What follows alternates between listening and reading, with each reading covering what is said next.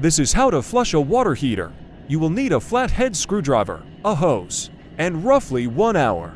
First, turn your water heater off several hours before you plan to drain the tank. If your water heater does not automatically ignite the pilot flame, then keep it on and turn the setting down below low, preferably to vac or vacation mode. Also make sure to shut off the water supply line. This is typically located above your water heater.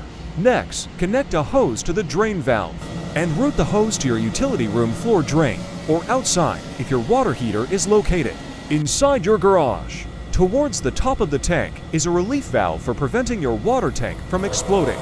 Sometimes the tanks will not drain even with the drain valve fully open one quarter twist. If this is the case, then you will need to burp the water tank with the relief valve. There are several tutorials of this online. Let the tank drain for roughly 30 minutes or until the water comes out clear with minimal deposits. As you can see this water tank had a lot of deposits sitting inside. Flushing helps prevent excess corrosion and should be done every year. Also, the anode should be inspected and or replaced every 3 to 5 years.